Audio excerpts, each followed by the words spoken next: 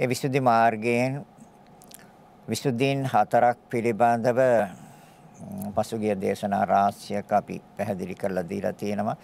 මග්ගමග්ග ඥාන දර්ශන විසුද්ධිය හා මේ ප්‍රතිපදා ඥාන දර්ශන විසුද්ධිය කියන මේ දෙක පිළිබඳවයි දැන් ධර්ම දේශනා කරන්නේ මොකද ඊළඟට පිවිසෙන්නේ ප්‍රතිපදා ඥාන දර්ශන විසුද්ධියට.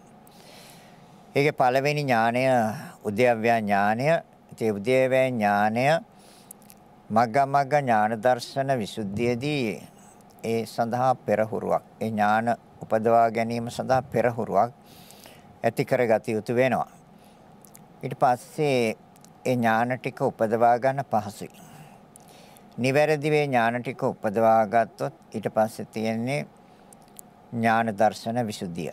එතකොට මග්ග මග්ග ඥාන දර්ශන විසුද්ධිය පස්වෙනි එක ඊගාව එක ප්‍රතිපදා ඥාන දර්ශන විසුද්ධිය හයවෙනි එක ඊට පස්සේ තියෙන්නේ ඥාන දර්ශන විසුද්ධිය. එතකොට හතයි මේ හතට කියන්නේ සප්ත විසුද්ධීන්. සප්ත කිව හත විසුද්ධි සුද්ධ කියන්නේ පිරිසිදු වෙනවට විසුද්ධි කියන්නේ වඩාත්ම පිරිසිදුයි පාරිශුද්ධයි. ඒ තමයි සියලු කෙලෙස් වලින් කෙලෙස් කියන්නේ සිත අපිරිසිදු කරන, සිත දූෂ්‍ය කරන, සිත කිලිටි කරන ධර්මතාවයන් ඥාන දර්ශන විසුද්ධියෙන් පස්සේ නැහැ. එතනින් ඉවස ඉවරයි අවසන්. ඒ තමයි විසුද්ධ සුද්ධ කියන්නේ. ତර පිරිසිදු වීම වඩාත්ම පිරිසිදුයි. කොහෙද පිරිසිදු වෙන්නේ? චිත්තසංතානෙ, සිත. ඒ සඳහා මේ ධර්මයන් මෙනෙහි කරන්නේ කොහොමද කියන කාරණය මේ මග්ගමග්ග ඥාන දර්ශන විසුද්ධියේදී ඊ타ත්ම පැහැදිලිව බුදුරජාණන් වහන්සේ දේශනා කරනවා. කොහොමද මෙනෙහි කළ යුත්තේ? ඒ මෙනෙහි කිරීම සඳහා කරුණු රාශියක් අපට පැහැදිලි කරලා දීලා තියෙනවා. අපි දන්නවා අනිත්‍ය වශයෙන් මෙනෙහි කරන්න ඕනේ නিত্য සංඥාව දුරු වෙන තුරුම යම් වෙලාවක සිතේ Tamanට දැනෙනවා යම් දෙයක් නිට්ටයයි කියලා ඒ නিত্য සංඥාව සහ මුලින්ම අයින් වෙනකම්ම අනිත්‍ය කියන ස්වභාවය සිතට ඇතුළත් කරන්න ඕනේ. මෙනෙහි කරන්න මෙනෙහි කරන්න මෙනෙහි කරන්න ඒක සිතේ අනුගත වෙනවා සිතට ඇතුල් වෙනවා සිතේ ස්ථාවර වෙනවා. අපේ සිත තුළ පවතින්නේ වැරදි ආකාරයක් කියන කාරණය බුදුරජාණන් වහන්සේ අපට පැහැදිලිව පෙන්වලා දුන්නා දේශනා කළා.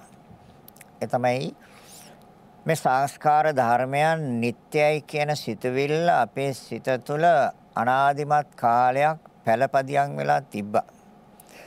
අදටත් ඒක තියෙනවා. යම් අවස්ථාවක යම් දෙයක්ගේ විනාශය දැක්ක අවස්ථාවක අපි අනිත්‍යයි කියලා හිතනවා.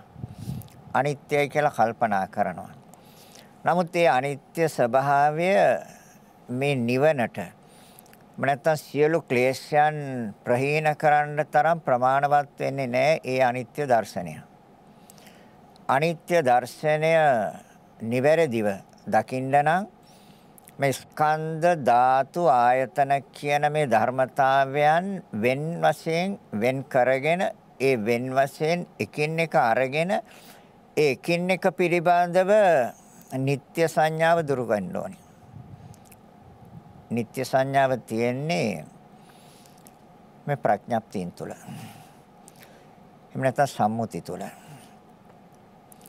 ලෝකේ නැහැ ඒක අවිද්‍යාමානයි ස්ත්‍රියක් පුරුෂයෙක් යම් කෙනෙක් කියලා ගන්නවා නම් ඒක පරමාර්ථ වශයෙන් ගත්තොත් එහෙම එකක් නැහැ ඒක අවිද්‍යාමානයි ස්කන්ධ ධාතු ආයතන කියන ධර්මතාවයන් විභාග කරනකොට අපට දැర్శණය වෙන්නේ පරමාර්ථ ධර්මයන්. ඒතර පරමාර්ථ ධර්මයන් කෙරෙහි නිවැරදිව සිත පවත්වන්න පුළුවන් නම් අපි මේ බුදුරජාණන් වහන්සේ දේශනා කරලා තියෙන මේ ස්වභාවයන් අපට අවබෝධ කරගන්න පුළුවන්. ඒ තමයි අනිත්‍යය කියන ස්වභාවය දුකයි කියන ස්වභාවය, ඒ වගේම රෝගයන්ට අයිති කියන ස්වභාවය Tamanගේ නොවන දෙයක් හැටියට දේශනා කළා තියෙන ස්වභාවය ඒ වගේම නැසෙන දෙයක් විනාශ වෙන දෙයක් හැටියට දේශනා කරලා තියෙනවා ඒ වගේම ශුන්‍ය වූ දෙයක් හැටියටයි තථාගතයන් වහන්සේ දේශනා කරන්නේ අනාත්ම වූ දෙයක් හැටියටයි දේශනා කරන්නේ. මෙන්න මේ කරුණු අපි ඒ තථාගතයන් වහන්සේ දේශනා කළා තියෙන ආකාරයට මේ ධර්මයන් කඩලා වෙන් කළා බෙදලා ඒ එකින් එකේ ධර්මයන් අරගෙන මේ බුදුරජාණන් වහන්සේ දේශනා කළා තියෙන ඒ කරුණුත් එක්ක ගලපලා බලන්න ඕනේ. එතකොට වැටහෙනවා අපි නිත්‍යයි කියලා හිතාගෙන ඉන්න ස්වභාවය බුදුරජාණන් වහන්සේ පැහැදිලි කරපු ආකාරය නිවැරදි ඒ තමයි අනිත්‍යයි කියන එක. අපි සැපයි කියලා හිතාගෙන ඉන්න ස්වභාවය බුදුරජාණන් වහන්සේ දේශනා කරන්නේ දුකයි කියන එක. එහෙනම් මේ ස්කන්ධ ධාතු ආයතන ඉන්ද්‍රිය ධර්මයන් මේ කොටස් වලට බෙදලා වෙන් කරලා ඒවැ එකින් එක අරගෙන පරීක්ෂා කරලා බැලුවොත් නිවැරදිව අපට වැටහෙන්න ඕනේ වැටහෙනවා දුකයි කියන කාරණය. ඒ වගේම බුදුරජාණන් වහන්සේ දේශනා කරන්නේ සියලු සංස්කාර ධර්මය අනාත්මයි කියන එක. එහෙනම් ඒ සඳහා අපි මේ ධර්මතාවයන් ස්කන්ධ ධාතු ආයතන ඉන්ද්‍රිය ධර්මයන් මේ සෑම දෙයක්ම දෙතිස් කුණප කොට්ටාස ద్వාර අරමුණු විඥාන ස්පර්ශ වේදනා සංඥා සංචේතන විතර්ක ਵਿਚාර මේ සෑම දෙයක්ම වෙන් කරලා ඒ වෙන් වෙන් වශයෙන් එකින් එක අරගෙන පරීක්ෂා කරලා බැලිය යුතු වෙනවා. තථාගතයන් වහන්සේ දේශනා කළා තියෙන එක හරිද? අපි මෙච්චර කල් හිතාගෙන හිටියේ ඒක හරිද කියන එක. ත්‍රිආකාරයට ඒවා බෙදලා වෙන් කරලා නිවැරදිව බැලුවොත් අපට වැටහෙන්නේ බුදුරජාණන් වහන්සේ දේශනා කළා තියෙන එක හරි. එහෙනම් අපි පළමුවෙන් කළ යුතු වෙන්නේ ඒ කොටස් වෙන් කර ගැනීම.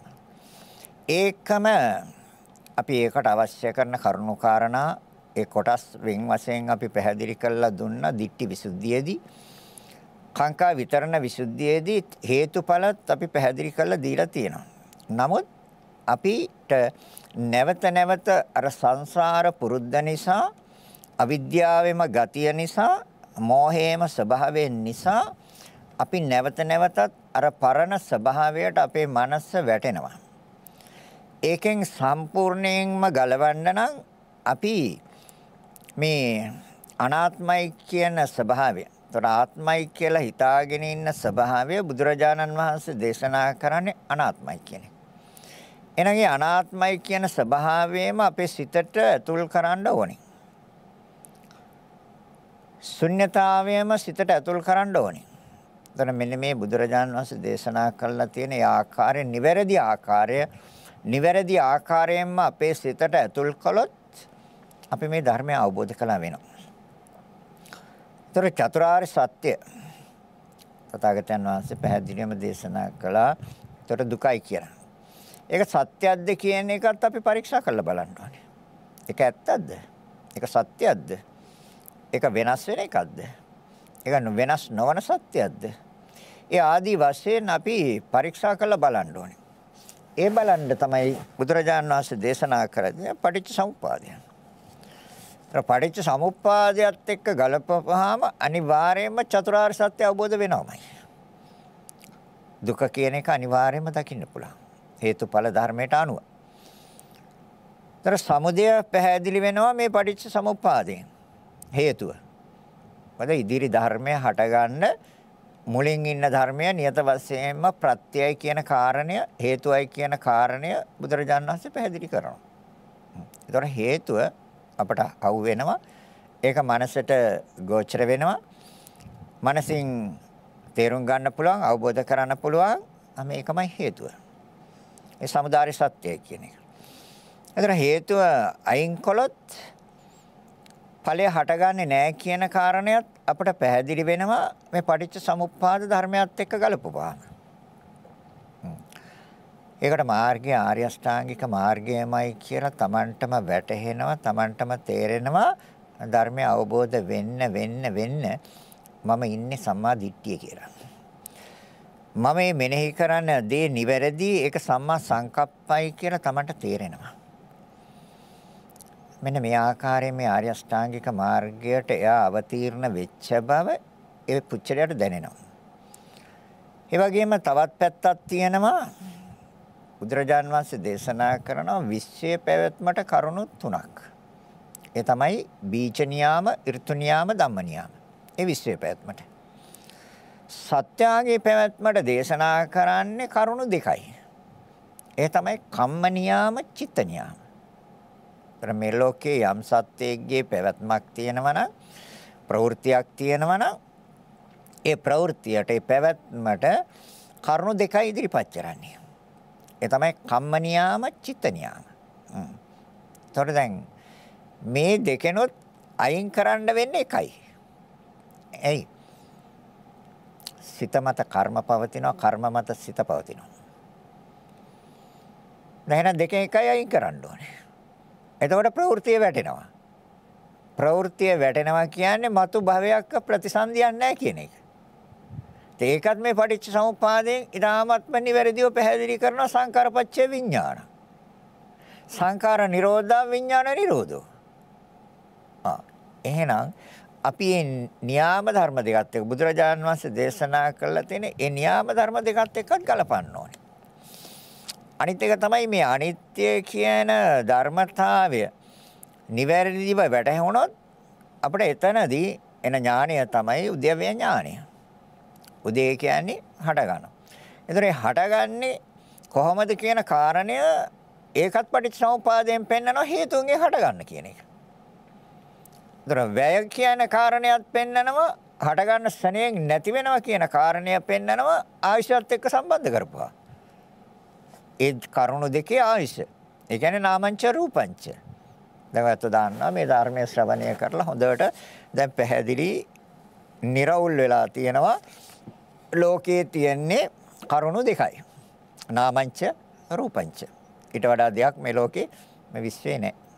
ඒ දෙක තුල සියල්ල ඇතුළත් කරලා තියෙන්නේ බුදුරජාණන් වහන්සේ. එහෙනම් ඒ නාම රූප දෙකේ අනිත්‍ය නිවැරදිව දකිනකොට නිවැරදිව මෙනෙහි කරලා නිවැරදිව දැකලා නිවැරදිව අවබෝධ කරනකොට අර ඥාන ටික පිළිවෙලින් එනවා. ඒ තමයි ප්‍රතිපදා ඥාන දර්ශන විසුද්ධියේදී ඇති වෙන ඥාන ටික. උද්‍යව්‍ය ඥාන, ඊට පස්සේ බංග ඥාන, ඊට පස්සේ බයතුපට්ඨාන ඥාන, ඊට පස්සේ ආධිනවානු දර්ශන ඥාන, ඊට පස්සේ නිබ්බිදා ඥාන, ඊට පස්සේ මුඤ්ඤතු කම්මඤ්ඤතා ඥාන, පටිසංකානු දර්ශන ඥාන, සත්‍ය අනුලෝම ඥාන. මේ පිළිවෙලින් එනවා මේ ඥාන ටික.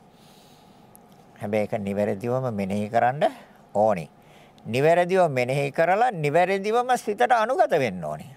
සිතට ස්ථාවර වෙන්න ඕනේ.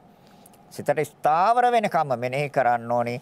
ඒකයි කිව්වේ නিত্য සංඥාව සහ මුලින් අයින් වෙනකම්ම අනිත්‍ය වශයෙන් සිතට ඇතුල් කරන්න ඕනේ. අනිත්‍යයමයි කියන එක.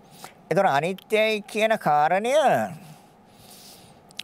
දැන් අපිට යම් ආකාරයක විශ්වය දිහා බලපුවාම අපිට පේනවා අනිත්‍යයි කියන එක. නමුත් ඒ අනිත්‍ය මදි. නිර්වාණය අවබෝධ කරගන්න එහෙම නැත්නම් හේතුව සහ මුලින් අයින් කරන්න අපිට ඒ ඒ දර්ශනය ඒ දැකීම මදි. ඒක දකින්නේ අපි ඇහෙන්. මේ අනිත්‍ය කියන එක දකින්න ඕනේ නිවැරදිව දකින්න ඕනේ මනසින්. හ්ම්. ඒතර මනසින් දකින්නේ අපි පැහැදිලි කරලා දීලා තියෙනවා මීට කලිනුත් ලෝකයේ තියෙන දර්ශන දෙකයි. ඊට වඩා දර්ශනයක් ලෝකේ නැහැ. වෙන තුන්වෙනි ඇසකින් බලන්න දෙයක් ලෝකේ නැහැ. දර්ශන දෙකයි තියෙන්නේ. ඒ තමයි ඇහෙන් දකිනවා එකක්. ඒක දර්ශනයක්. අනිත් එක මනසින් දකිනවා. වෙන දර්ශන ලෝකේ නැහැ. වෙන කාටවත් මේ ලෝකේ මොන జగතකටවත් පෙන්වන්න බෑ. තවත් දර්ශනයක් තියෙනවා කියලා. ওই දර්ශන දෙකයි. එහෙනම් මනසින් දකින්න. එතකොට බුදුරජාණන් වහන්සේ දේශනා කරන්නේ ඔය එහෙන් දැකලා සම්මුති හේවත් ප්‍රඥප්ති වශයෙන් සිතට ඇතුල් කරගෙන ඉන්න ධර්මතාවයන් පරමාර්ථ ධර්මයන් වශයෙන්. ඒතර පරමාර්ථ ධර්මයන් වශයෙන් බලපම විද්‍යාමානයි මනසට. ඒක පැහැදිලි, ඒක निराවුල්. ඒතර පරමාර්ථ ධර්ම වශයෙන් निराවුල් වෙන්නේ ඒ දර්ශනය මනසට. ඒ දර්ශනය නිවැරදි. ඒතර එහෙන් දකින දර්ශනය තමයි ওই ස්ත්‍රියක්, ওই පුරුෂයෙක්, මේ ළමයෙක්, මේ යම් උපකරණයක් මේ සෑම දෙයකටම විවිධාකාරයෙන් නම් දීලා තියෙනවා ඒවා හඳුනා ඒ සේරම දේවල් සම්මුති හේවත් ප්‍රඥප්ති. පනවගත්ත දේවල්. ඒ දේවල් අඳුන ගන්න දීලා තියෙන නම්. ඒතර ඒක පරමාර්ථ ධර්ම වශයෙන් අවිද්‍යාමානයි. ස්ත්‍රී පුරුෂ ළමයි එතකොට මහලු අය තරුණ අය ඒ ආදි වශයෙන් ගන්නවන ඒ වගේම පුටුවක් මේසයක් ඇඳක් වහලයක් එහෙම නැත්නම් නිවසක් ගොඩනැගිල්ලක් යම් වාහනයක් ඒ ආදි වශයෙන් ගන්නවන ඒ සියලුම දේවල් පරමාර්ථ වශයෙන් අවිද්‍යාමානයි. ତොර සම්මුති වශයෙන් විද්‍යාමානයි. දැන් ස්ත්‍රියක් ඉන්නවා පුරුෂයෙක් ඉන්නවා ඒක සම්මුති වශයෙන් විද්‍යාමානයි. හැබැයි පරමාර්ථ වශයෙන් ගත්තාම අවිද්‍යාමානයි. නැහැ. අවිද්‍යාමානයි කියන්නේ නැහැ. පරමාර්ථ වශයෙන් ගත්තාම. ඒතර සම්මුති වශයෙන් ගත්තොත් තමයි ඔය තියෙන බවක් පේන්නේ. බුදුරජාණන් වහන්සේ දේශනා කරන ඒ දර්ශනය වැරදි. ඒ දර්ශනය වැරදි. ඒ පෙන්වන්නේ නැති දෙයක් ඇති දෙයක් හැටියටයි කියන කාරණේයි පෙන්වන්නේ. ඒකයි මේ ධර්මයේ තියෙන ගැඹුරු බව. නමුත් අපේ සිත අනාදිමත් කාලයක් පුරුදු වෙලා දිගින් දිගට ආවේ අර පරමාර්ථ ධර්මයන් වශයෙන් විද්‍යාමාන දේ අපි සම්මුත් පරමාර්ථ වශයෙන් බැලුවොත් විද්‍යාමානයි. එතකොට පරමාර්ථ වශයෙන් නොබලන තාක්කල් අවිද්‍යාමානයි. ඒ කියන්නේ සම්මුති වශයෙන් විද්‍යාමානයි. ඒ කියන්නේ තියෙන තියෙනවා කියලා ගන්නවා. නමුත් බුදුරජාණන් වහන්සේ දේශනා කරන්නේ ශුන්‍යයි කියලා. ශුන්‍යයි කියන්නේ නැහැ කියන එක. ඒතර අනිමිත්තයි කියලා කියනවා. අනිමිත්තයි කියන්නේ නිමිති නැහැ කියන එක. අපනිහිත කියලා කියනවා. ප්‍රනීතතාවයක් ගන්න බෑ. ඒකට හේතුව තමයි ඇතිවනසනේ නැති වෙනවා කියන කාරණය. මේ ලෝකේ ඕනම ධර්මයක් ගත්තොත් ඇතිවනසනේ නැති වෙනවා. ඒක තමයි ස්වභාවය. එතකොට ඇතිවනසන ශණයෙන් නැති වෙන ස්වභාවය තියෙන්නේ නාම රූප දෙකේ. නාමංච රූපංච නාම රූප දෙක තුලයි තියෙන්නේ. එතකොට එහෙනම් අපි මේක විසඳගත යුතු වෙන්නේ නාම රූප දෙකෙන්. ඒතර නාම රූප දෙකේ අනිත්‍ය ගන්න නම් අපි දැන් උදාහරණයක් ගමු. අපි ගන්නවා අ චේතනා හයක් තියෙනවනේ. චේතනා හයක් තියෙනවා. චේතනා කියන්නේ කර්ම පිළියෙල වෙන ක්‍රම හයක් තියෙනවා. මේ හයෙන් තමයි කර්ම පිළියෙල වෙන්නේ වෙන ක්‍රමයක් නැහැ. ඕනම කෙනෙක් යම් කර්මයක් සකස් කර ගන්නව නම් මෙන්න මේ පිළිවෙලට එන්න ඕනේ මේ පිළිවෙලට තමයි කර්ම පිළියෙල වෙන්නේ කියන කාරණය බුදුරජාණන් වහන්සේ දේශනා කරනවා. එතකොට මේ කර්ම ඒක න්‍යාම ධර්මයක්. ඒ න්‍යාම ධර්මය මත ඒ කම්ම න්‍යාම චිත්ත න්‍යාම. ඒතර කර්ම මත සිත පවතිනවා කියන එකයි බුදුරජාණන් වහන්සේ දේශනා කරන්නේ. අපි බලමු දැන් කරුණු හයක් අරගෙන මේ බුදුරජාණන් වහන්සේ දේශනා කළ තියෙන විදිය හරිද? නිවැරදිද? කියන එක අපි බලන්න ඕනේ. දැන් අපි දන්නවා චක්කු සම්පස්සජා චේතනා කියලා කියනවා. ඒතර චක්කු කියන්නේ ඇසට. ඒකට සම්බන්ධ වෙන්නේ බාහිර රූපයක්. මේ කාටවත් නැහැ කියන්න බෑ. මේ පේන්න තියෙන දෙයක්. සත්‍ය වශයෙන්ම පේන්න තියෙන දෙයක්. ඇහැට සම්බන්ධ වෙන්නේ බාහිර රූප. ඒ දෙක සම්බන්ධ වෙනකොට සිතක් හදනවා. ඒ දෙක සම්බන්ධ වෙනකොටම සිතක් හදනවා. ඒතකොට ඒ තමයි ඒකට කියනවා චක්කු විඥානය. දැන් මේ තුන් කරුණ එකතු කරන්නේ ස්පර්ශයයි. ඒ කියන්නේ අර ඇහැට රූපේ ස්පර්ශ වුනේ නැත්තම් විඥානය හදන්න බෑ. හැදෙන්නේ නැහැ. එහෙනම් මේ තුන් කරුණ එකතු ස්පර්ශයයි. ඒකට කිව්වා චක්කු සම්පස්ස. ତර චක්කු සම්පස්ස ඒක එන්නේ විඳීමක්. ඒකට කියනවා චක්කු සම්පස්සජා වේදනා. එතකොට ඒ කරුණු තුන එකතු වෙනවත් එක්කම එනවා විඳීමේ සිතක්. විඳීමේ සිතත් ඒක චිතක්ෂණයක් තුළ ඇතිව නැති වෙනවා ඒකම එනවා හඳුනා ගැනීමේ සිත. ඒකට කියනවා චක්කු සම්පස්සජා සංඥා. ඒ කියන්නේ ඒතර චක්කු කියන්නේ ඇස බාහිර රූප දෙක නිසා සිත තුන් කරුණ එකතු ස්පර්ශයයි. ඒතර ස්පර්ශයම තමයි සංඥාවට ප්‍රත්‍ය වෙන්නේ. වේදනාවට ප්‍රත්‍ය වෙන්නේ ස්පර්ශයමයි. ඒකම එනවා සිත බලවත් වීමක්. ඒ සිත බලවත් වීමට කියනවා චේතනා. එතකොට චක්කු සම්පස්සජා චේතනා. චේතනා කියන්නේ කර්මයයි. එතකොට දැන් බුදුරජාන් වහන්සේ දේශනා කරනවා වේදනා සංඥා සංකාර තුනක් තියෙනවා. දැන් මේ තුන නාම ධර්ම. දැන් නාම රූප දෙකක් නේ තියෙන්නේ ලෝකේ. එතකොට මේ වේදනා සංඥා සංකාර ස්පර්ශ කියන්නේ නාම ධර්මයක්. එතකොට මේ නාම ධර්ම එතකොට මේ නාම ධර්ම ක්‍රියාත්මක වෙන්න උපකාර කළේ අසයි රූපයයි. එහෙනම් එතන තියෙන්නේ නාම රූප දෙකක්. ওই නාම රූප දෙක මත තමයි විඥාණය පවතින්නේ. හැබැයි විඥාණය වර්තමානයේ නාම රූප දෙක නිසා විඥාණය පැවතුනාට සත්‍යයේ පැවැත්මට දේශනා කරන්නේ බුදුරජාණන් වහන්සේ කම්ම නියාම චිත්ත නියාම. එතකොට එහෙනම් කම්ම නියාම චිත්ත නියාම කියන්නේ කර්මය මතයි සිත පවතින්නේ. ඒ කියන්නේ අර චේතනා කියන මට්ටමට සිත අරගෙන ගියාට පස්සේ සිත පවතිනවා කියන එකයි ඒ කියන්නේ. තේරෙනවද කියන එක? ඒක තමයි පටිච්ච සමුප්පාදයේ පැහැදිලි කරන්නේ සංකාරපච්චය විඥාන. ତර සංස්කාර කියන්නේ කර්මවලට. පුඤ්ඤාභි සංකාර පින්. අපුඤ්ඤාභි සංකාර පව්. ආනිජ්ජාභි සංකාර ධ්‍යාන. දැන් ඒ මත නෙමෙයිද සිත තියෙන්නේ. අන සංකාරපච්ච විඥාන. එතකොට දැන් බුදුරජාණන් වහන්සේ සත්‍යාගේ පැවැත්මට ධර්මතා දෙකයි කියලා පෙන්නපේක හරිද? අන්න අවබෝධ කරගන්න ඕනේ. තේරුම් ගන්න ඕනේ. වටහා ගන්න ඕනේ. එහෙනම් දැන් මෙතනදී අපිට පුළුවන් දැන් හේතුඵල දකින්න පුළුවන්. දැන් කොහොමද හේතුඵල දකින්නේ? එතකොට මෙතනදී අපිට අර අපි මෙච්චරයි මෙච්චර කාලයක් අපි නිට්ටයයි කියලා හිතාගෙන හිටිය ධර්මතාවයන් මේ සෑම දෙයක්ම විභාග කරනකොට අපිට පේන්නේ අනිත්‍ය. ඇයි අනිත්‍ය පේන්නේ? අනිත්‍ය පේන්නේ අර මං කියවනේ ආයශයත් එක්ක ගලපන්න කියලා. ආයශයත් එක්ක ගලපන්න ඕනේ සෑම වෙලාවකම.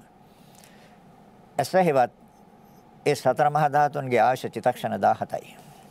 ඊට වඩා ආයශයක් නැහැ. ඇසට නැහැ. බාහිර රූපෙත් එච්චරයි තියෙන්නේ. ඇසට ගෝචර වෙන බාහිර රූප ඕනම රූප ධර්මයක් නැත්නම් ඒ සෑම රූප ධර්මයකම ආයුෂ චිතක්ෂණ 17යි. එහෙනම් චිතක්ෂණ 17ක් තුළ ඇතිව නැති වෙනවා කියන්නේ උදේවැය එතන තියෙනවා. චිතක්ෂණ 17ක් තුළ ඇතිව නැති වෙනවා කියනකොට උදේවැය එතන එතන තියෙන උදේවැය. උදේ කියන්නේ හට ගන්න. ඒතර හටගන්නේ චිතක්ෂණ 17ක් ඇතුළත. ඒතකොට චිතක්ෂණය යන්නේ හට ගන්න. වැයට යන්නේත් එක චිතක්ෂණයයි. ඒ කාලය තුල තමයි ටිටි කියන එක තියෙන්නේ. දැන් අහලා තියෙනවා වචන තුනක් උපාද ටිටි බංග කියලා. ඒතර ටිටිය කියන්නේ ওই ඊතුරු 49ට. මොකද උපාදටිති භංග 17න් වැඩි කරාම 51යි. එතකොට ඒකෙන් උපාදයට එක චිතක්ෂණයයි භංගයට එක චිතක්ෂණයයි දෙකක් ගියාම 49යි. ඔය 49 තමයි ටිති කියන්නේ. එහෙනම් එතකොට එතන අපිට එකක් දැర్శණය වෙන්න ඕනේ අනිත්‍යයි කියන එක. ඒ අනිත්‍ය තියෙන්නේ රූපේ. එතකොට රූපේ කියන්නේ සතර මහා ධාතුන්ගේ. එතකොට රූපේ කියන සංඥාව අයින් වෙන්න ඕනේ. මොකද දැන් අපි කියවනේ ඉස්සෙල්ලා සම්මුති හේවත් ප්‍රඥප්ති වශයෙන් ඒක ඒතර ස්ත්‍රියක් හරි පුරුෂයෙක් හරි ළමයෙක් හරි යම් උපකරණයක් හරි යම් දෙයක් හරි පෙන්වන්නේ සම්මුති හේවත් ප්‍රඥප්ති වශයෙන්. පරමාර්ථයට ගියාම ඒක අවිද්‍යාමානයි. එතකොට අර සම්මුතියවත් ප්‍රඥප්තිය තුළ තමයි විද්‍යාමාන. ඒ කියන්නේ පෙන්වන්නේ. තියෙන බව පෙන්වන්නේ. පරමාර්ථයට ගියාම අවිද්‍යාමානයි. පෙන්වන්න බෑ. එතකොට එතන තියෙන්නේ අර සතර මහා ධාතුන්ගේ ක්‍රියාව. ඒ කියන්නේ ඇස කියන එක ධර්මතාවයේ තියෙන සතර මහා ධාතුන්ගේ ක්‍රියාව. බාහිර රූපේ තියෙන සතර මහා ධාතුන්ගේ ක්‍රියාව. දෙකේම ආයශ චිත්තක්ෂණ 17යි. දැන් එතකොට අපට අර බුදුරජා අපි මෙච්චර කල් හිතාගෙන හිටියා නම් යම් ධර්මතාවයක් නිට්ටයයි කියලා. දැන් මොකද්ද පේන්නේ? දැන් මොකද්ද දැర్శණය වෙන්නේ? දැන් මොකද්ද දකින්නේ? ඒක දකින්නේ මනසින්. ඒ මනසින් දකින දර්ශනය නිවැරදි ඇති වෙනසනෙන් නැති වෙනවා. ඒක තමයි ඇත්ත. එතකොට අර ඇති වෙනසනේ නැති වෙන ස්වභාවය සිතට හොඳට ඇතුල් වෙන්න ඕනේ මේක. සිතට හොඳට අනුගත වෙන්න. ඒකයි මම මුලින් කිව්වේ මෙච්චර කල් නිට්ටයයි කියලා හිතාගෙන හිටියානම් ඒ නිට්ටයයි කියන සංඥාව සිතින් සහ මුලින් අයින් වෙන තුරුම අනිත්‍ය වශයෙන් මෙනෙහි කරන්න ඕනේ. අනිත්‍යයි. අනිත් එතකොට ඒ අනිත්‍ය එන්නේ අර දර්ශනය තුල. එතකොට දකින්නේ ඇහි ඇහි අනිත්‍ය ස්වභාවයක් නෙමෙයි. දකින්නේ සතර මහා ධාතුන්ගේ අනිත්‍ය ස්වභාවය. රූපේ අනිත්‍ය ස්වභාවයක් නෙමෙයි දකින්නේ. සතර මහා ධාතුන්ගේ අනිත්‍ය ස්වභාවය. එතකොට එයාගේ සිත තියෙන්නේ පරමාර්ථයේ. ତර පරමාර්ථ වශයෙන් විද්‍යාමානයි පරම සත්‍ය. සම්මුති වශයෙන් විද්‍යාමානයි කෙනෙක් ඉන්නවා.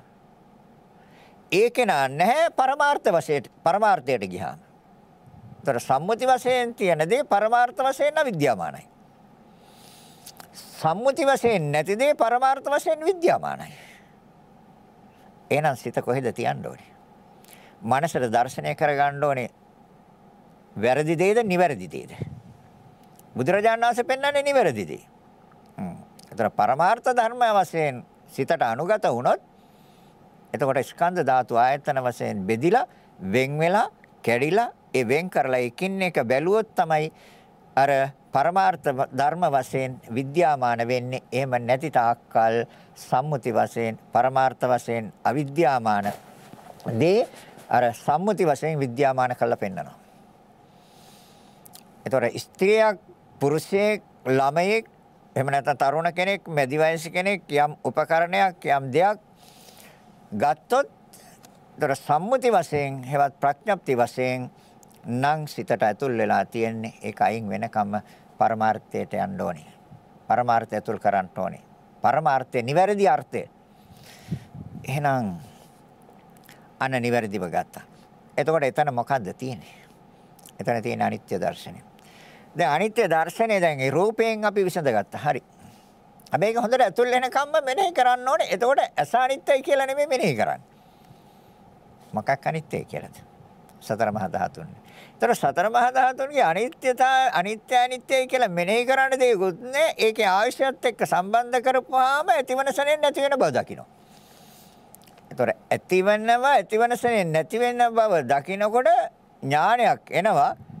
ආ සනෙන් ඇති වෙනවා ඇතිවන සනෙන් නැති වෙනවා. ඒතර ඇති වෙනවට කියන්නේ උදය නැති වෙනවට කියන්නේ වැය. දැන් මේ උදේවැය ඥානයත් එක්ක මේ ඒකට කියන්නේ වයානුපස්සනා ඒ වෑයානුවම මෙනෙහි කරනවා නම් යම් කිසි කෙනෙක් ඉදිරි ධර්මතාවයන් රැස් කරන්නේ එතනින් එහාට ධර්මතාවයන් රැස් කරන්නේ ඒ රැස් කරන්නෙම ඔය වයානුපස්සනාව එහෙම නැත්නම් වැය දකින්නේ නැති නිසා තමයි රැස් කරන්නේ එකතු කරන්නේ. දැන් ඇතිවනසනේ නැති වෙනවද? පවතිනවද? පවතින්නේ මොහොතක්වත්. ඇතිවනසනේ නැති වෙනවා. එහෙනම් ඇතිවනසනේ නැති වෙනවා නම් අපිට සිතක් හදලා වැඩක් තියනවද? ඒ රූපය ආයශ චිතක්ෂණ 17ක් වුණාට ඒ දෙකේ සම්බන්ධය නිසා ඇතිවන සිතේ ආයශ එක චිතක්ෂණයයි. ඒ 17නුත් එකයි. ඒ සිතත් ඇතිවන ශරණෙන් නැති වෙනවා. අන්න දකින්නකොට එයා එතනින් එහාට රැස් කරන්නේ බුදුරජාණන් වහන්සේ දේශනා කළේ රැස් කරන්න නෙමෙයි. අස් කරන්න. අපි මොකද්ද කරන්නේ? රැස් කරනවා. දැන් රැස් කරන විදිහ තමයි කිව්වේ ඉස්සෙල්ලා. කොහමද?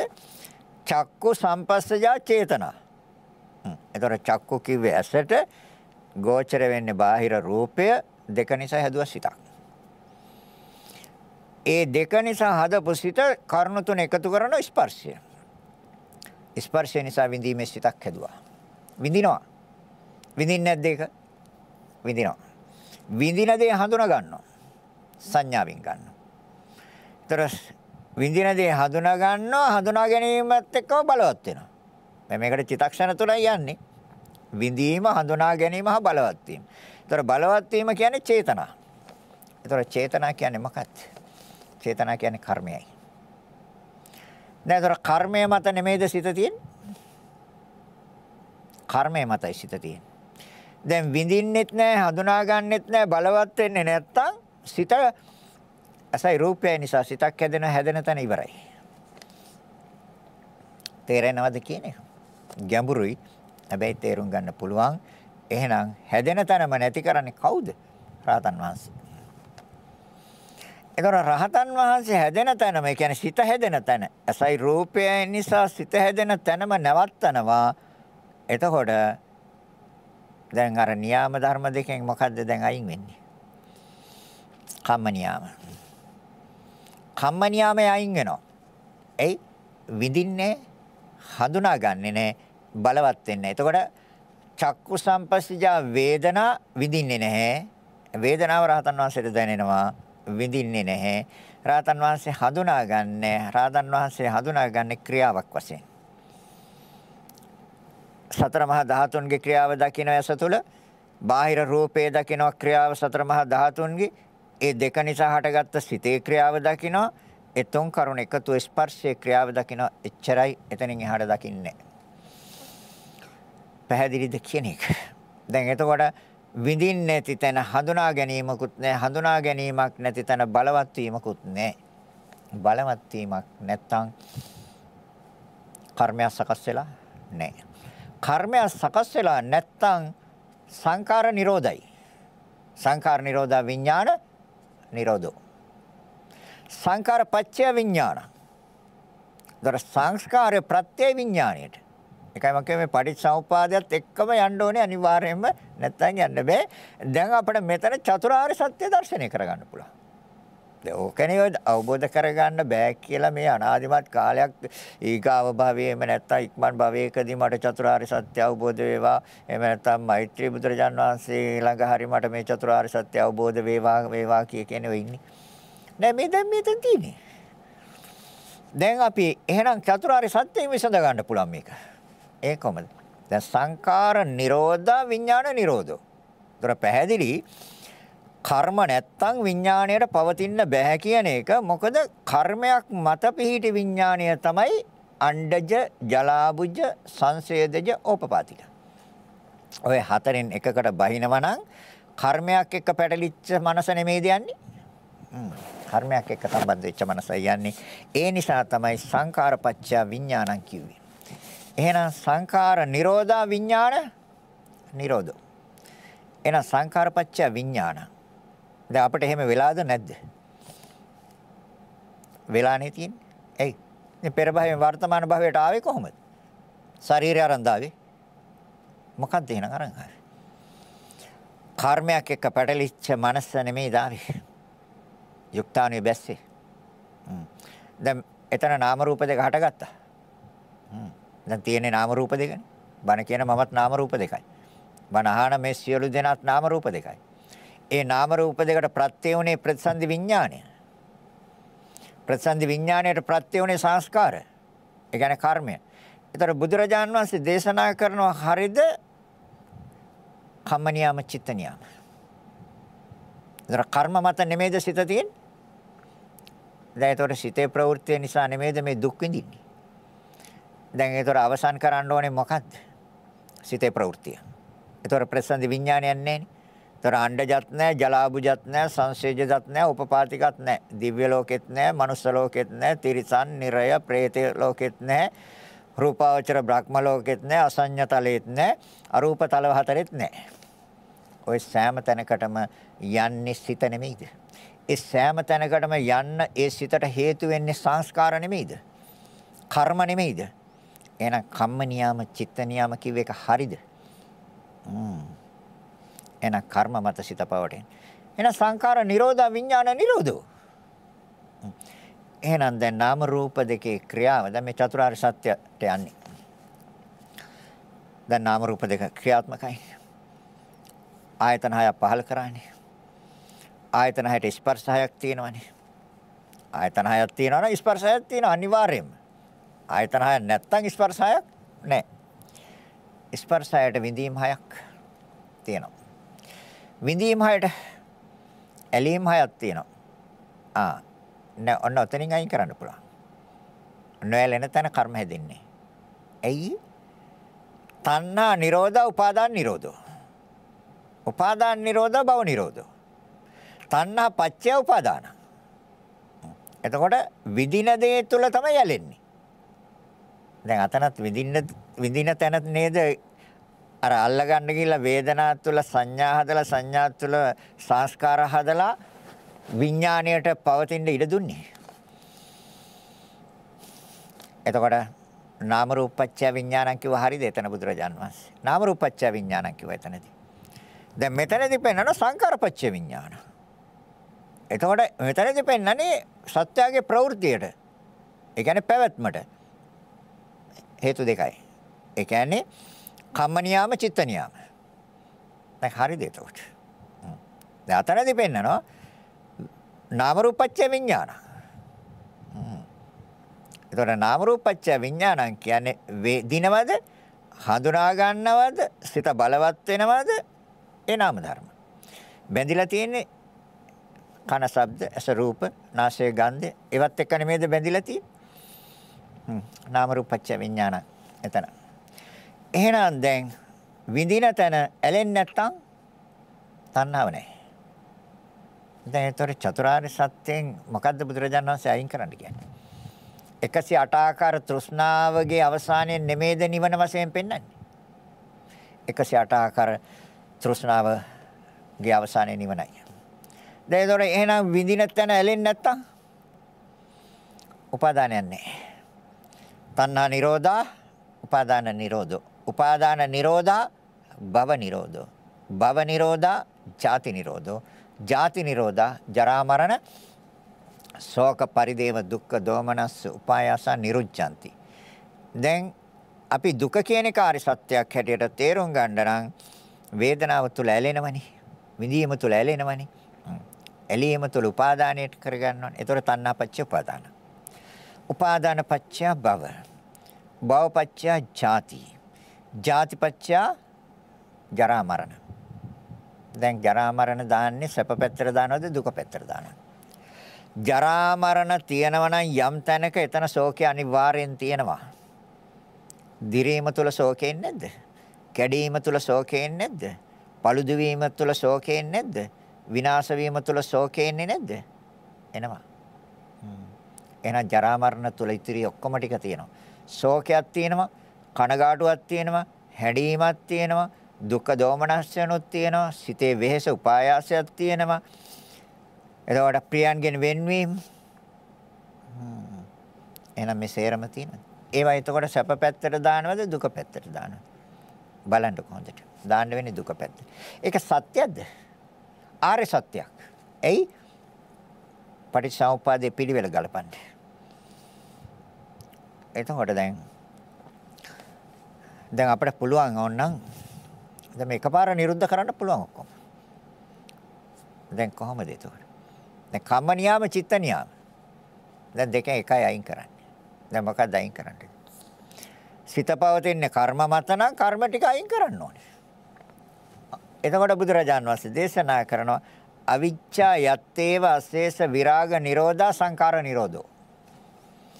අවිද්‍යාව යම් කිසි කෙනෙක් සහ මුලින් අවසන් නම් එයා සංස්කාර හදන්නේ නැහැ. දැන් අවිද්‍යාවටත් හේතුවක් පෙන්නනවා. ඒ ආශ්‍රවයි. කාමාශ්‍රව, භවආශ්‍රව, ditthියාශ්‍රව. ତර කාමාශ්‍රව, භවආශ්‍රව, ditthියාශ්‍රව. කාම ආශ්‍රව කියන්නේ කාමයන්ට ඇලෙනවා. භවආශ්‍රව කියන්නේ ඒ කාම සම්පත්තිය භවෙන් භවයට ගෙනියන්න තියෙන ආශ්‍රවය ඇලෙනවා. භවආශ්‍රව. ditthියාශ්‍රව. මේ පටිච්ච සමුප්පාදය නොදකින තාක්කල් ditthි. ditthියාශ්‍රව. එහෙනම් කාමාශ්‍රව, භවආශ්‍රව, ditthියාශ්‍රව සහ මුලින් ශේකොලොත් අවිජ්ජාශ්‍රව නැහැ. ආශ්‍රව කියන්නේ ඇලෙනවා කියන එක. ඇලෙනවා කියන්නේ තණ්හාව. එහෙනම් ආස් කාමාශ්‍රව, භවආශ්‍රව, ditthියාශ්‍රව කියන මේ ආශ්‍රව ධර්මයන් අවසන් කළොත් අවිද්‍යාව නිරුද්ධයි. අවිච්ඡයත්තේ වාසේස විරාග නිරෝධ සංකාර නිරෝධෝ. එන සංස්කාර නිරුද්ධ නම් සංඛාර නිරෝධා විඥාන නිරෝධෝ. එහෙනම් කර්ම නිරුද්ධ නම් සිතට පවතින්න බෑ. එතකොට හරිද බුදුරජාණන් වහන්සේ දේශනා කරන කම්ම නියාම චිත්ත නියාම. දැන් එතකොට එකයි නේද අයින් කරන්න තියෙන්නේ. කොහොමද අයින් කරන්න තියෙන එක? කම්ම නියාම.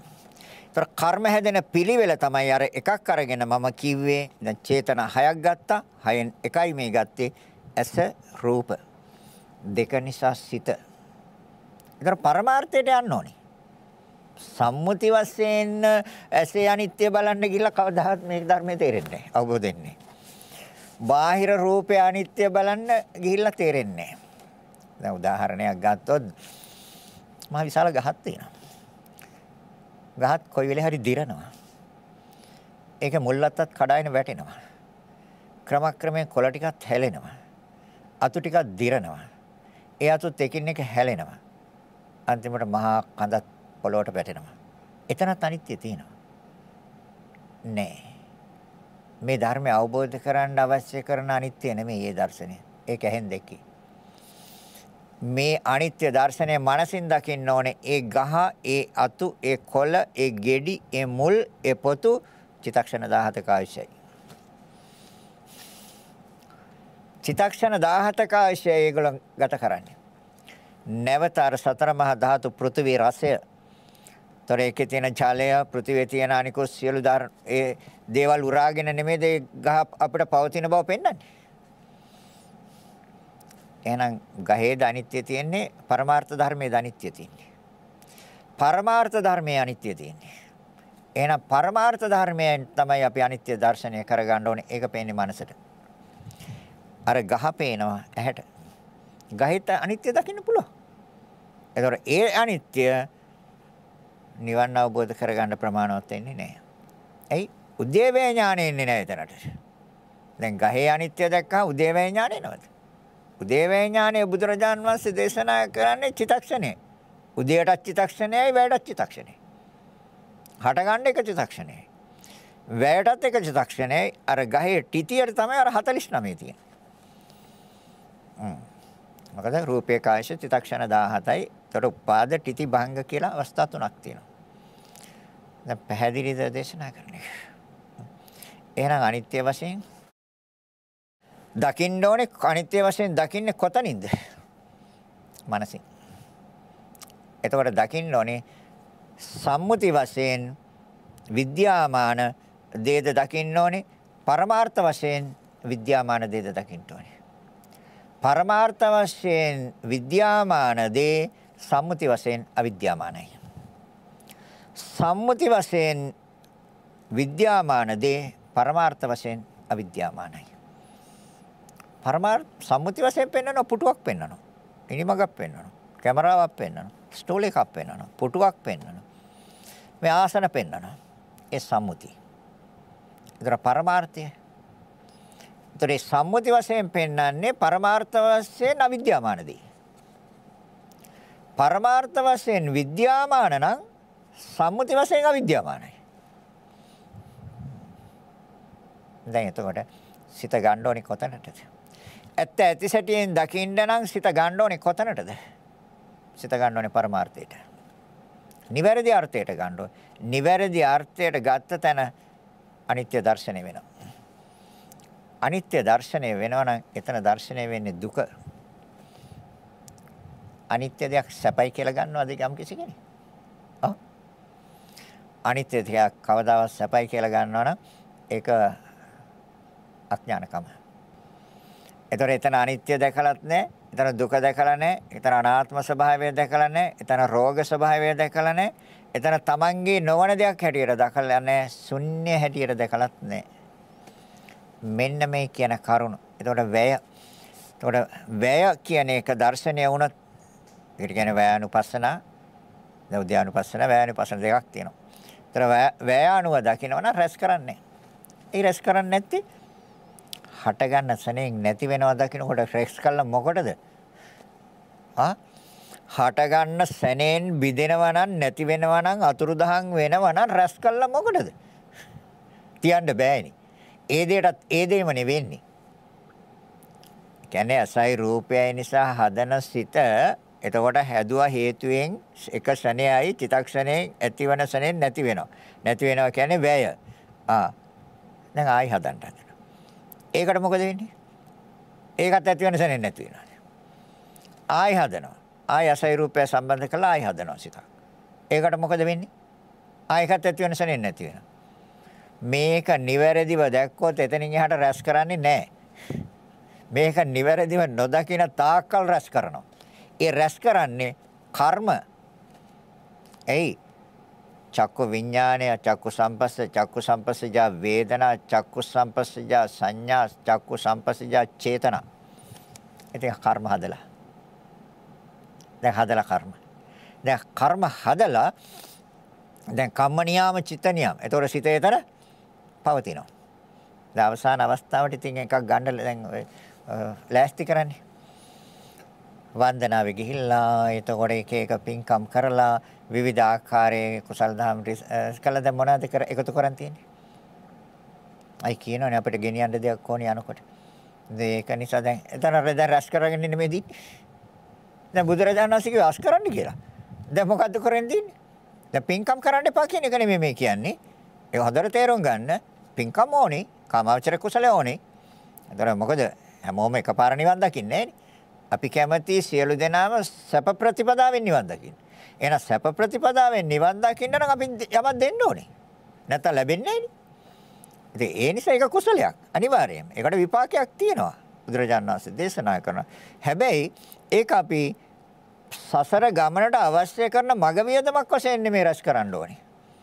මේ සසර ගමන නිමාවටපත් කරන්න අවශ්‍ය කරන සිතුවිල්ලක් හැටියටයි ගන්න ඕනේ. යම් දෙයක් දීලා ප්‍රාර්ථනා කරන්න එපා කිසි දෙයක් ඒකට අනිවාර්යෙන් ලැබෙනවා. එහෙනම් අපිට අවශ්‍ය කරන්නේ නිවන. එහෙනම් අස් කරන්න ඕනේ. තේරෙනවද කියන එක? එහෙනම් අස් කරන්න ඕනේ. එතකොට කර්ම සකස් වෙන නොවන ආකාරයටයි සිතේ ප්‍රවෘත්ති ගෙනියන්නේ පවත්වන්නේ. එහෙනම් පැහැදිලිව තේරුම් ගන්න. ඉතින් ධර්ම දේශනාව අවසන් කරන්න කාලය ඇවිල්ලා තියෙන්නේ. එහෙනම් තථාගතයන් වහන්සේ දේශනා කළා තියෙන ආකාරය හරිද? අපි හිතාගෙන ඉන්න ආකාරය හරිද? මොකක්ද හරි කියන එක තමන්ගේ නුවණින් විමසන්න ඒ නුවණට සත්‍ය අවබෝධ වෙයි කොයි වෙලේ හරි පටිච්ච සමුප්පාදයට එක්ක ගලපන්න ඉදිරියට අරගෙන ගියාම පේන්නේ දුකයි කියන එක ඒක ආරි සත්‍යයක්. ජරා මරණ ශෝක පරිදේව දුක්ඛ දෝමනස්ස උපායාස සැපයි කියලා කියනවා නම් යම් කිසි කෙනෙක් කාටද කියන්න පුළුවන්? ඒවා දුකයි. එතකොට සංස්කාර වලට හේතුව අපි පෙන්නවා කර්ම මතයි එතකොට විඥානය පවතින්නේ කම්ම නියාම චිත්ත නියාම කර්ම වලට හේතුව අවිද්‍යාව අවිද්‍යාවට හේතුව ආශ්‍රව ආශ්‍රව කියන්නේ samudāri සත්‍ය. දැන් ඒතර තියෙනවා මෙතන චතුරාර්ය සත්‍ය. දුක්ඛාරය සත්‍ය තියෙනවා හේතුව චතුරාර්ය සත්‍ය මේ samudāri සත්‍ය තියෙනවා. ආශ්‍රව. දැන් ආශ්‍රව ශේකරෝ. කර්ම ශේ වෙනවද නැද්ද? කර්ම ශේ වෙනවා. ආශ්‍රව කාමාශ්‍රව කාමයන්ට ඇලෙන තාක්කල් කර්ම හදනවා. භවයන්ට ඇලෙන තාක්කල් කර්ම හදනවා. භවයන්ට තියෙන ඇල්ම නිසා තමයි කුසල කර්ම කරන්නේ. කුසල කර්ම කරන්නේ භව ආශ්‍රව. භවයන්ට තියෙන ඇල්ම නිසා. ඒක කරන්න එපා කියන එක නෙමෙයි. කුසල කර්ම කරන්න දන් දෙන්න ඕනේ, සිල් ගන්න ඕනේ, භාවනා කරන්න ඕනේ, වැඩි හිටියන්ට සලකන්න ඕනේ, වැඩි හිටියන්ට ගරු බුහුමන් දක්වන්න ඕනේ, පින් දෙන්න ඕනේ, පින් අනුමෝදන් වෙන්න ඕනේ, තමන් ධර්මය ශ්‍රවණය කරන්න ඕනේ, තමන් ධර්මය දේශනා කරන්න ඕනේ, සාකච්ඡා කරන්න ඕනේ. එතකොට මේ ඔක්කොම පුණ්‍ය ක්‍රියා. මේ ඕනේ. එහෙනම් හැබැයි ඒවා අපි අර සසර ගමනට රැස් කරන ඒවා නෙමෙයි. ඒවා නිවන වෙනුවෙන් රැස් කරන ඒවා. ඒ කියන්නේ සැප ප්‍රතිපදාවෙන් යන්න. අපි කැමති නෑනේ දුකක් අර ලෝසක හමුදුරුව වගේ අපි දන්නන්නේ මොනතරම් අනන්ත ප්‍රමාණ දුක් විඳද නේ දාන වේලකට ඒත් හම්බුන්නේ නෑනේ. ඉතින් ඒ ප්‍රතිපදාවෙන් යන්න ඕනේ අපිට සැප ප්‍රතිපදාවෙන් යනවා අපි සුඛාපටිපදා දුක්ඛාපටිපදා කියලා දෙකක් තියෙනවා අපි යනවා සැප ප්‍රතිපදාවෙන්. එහෙනම් ඒ විදිහට යන්න පුළුවන් කියපු කරුණු පැහැදිලි වෙන්න ඕනේ. සසරෙන් නිවනට බණ කිව්වේ.